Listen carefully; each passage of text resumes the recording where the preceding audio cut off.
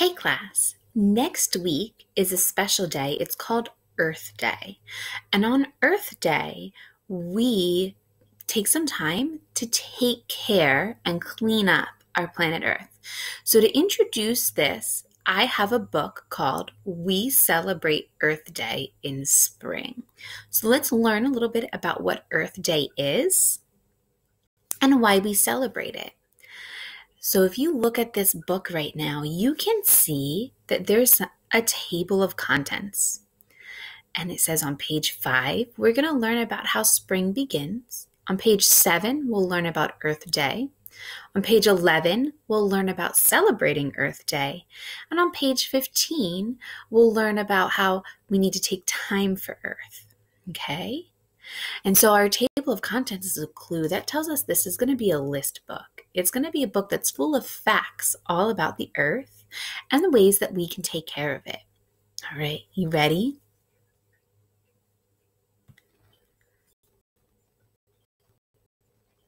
Spring begins. Spring is here. It gets warmer. Plants and trees grow. Earth Day. We have a special day to help our Earth. This day is called Earth Day. And over here we have a question. It says, What do you see? What objects go in the recycling bin? So look at this recycling bin that you can see here.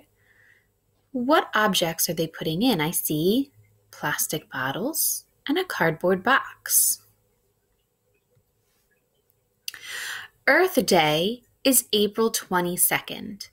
People work together to help our planet. Let's look at this picture and observe it. How are these kids working together to help our planet? I see some trash bags, and I see they're all picking up some trash and plastic bottles that were on the ground and putting them in the trash bag. So it looks like they're helping our planet by cleaning up some trash outside. Celebrate. We celebrate Earth Day many ways. One way is to learn about Earth. What are these kids learning about? You can see them with their teacher.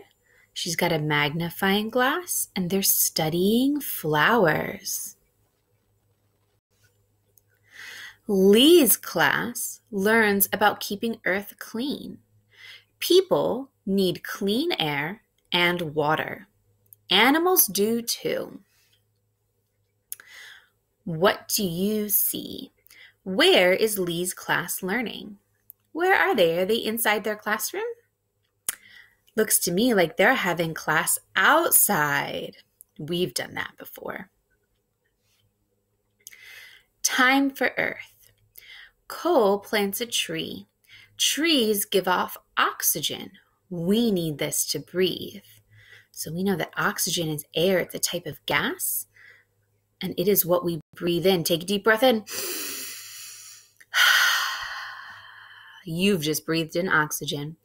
And trees and plants help make oxygen and clean the air that we need to breathe. Nora picks up litter. This helps keep our earth clean. Do you guys know what litter is? Let's look at the picture, what she picking up. She's picking up litter, and it looks like litter means trash. It's another word for trash that is left outside on the ground, and so she's cleaning it up. Eli's class reuses paper. Reusing makes less, less waste. What do you see? What kind of paper does Eli's class reuse? What is this that they're using here? Newspapers. Good job. We reuse a lot of things in our class, don't we? In our maker's space, we use boxes, we reuse egg cartons and yarn and sticks and all sorts of things that we find plastic bottles. You guys like to reuse the plastic lids on your applesauce pouches. People like to take time to help our earth. How do you celebrate Earth Day? The end. So, now that we're done this book and we've learned a little bit about Earth Day, stay tuned. We're going to learn more ways that we can take care of Earth and how we can be involved.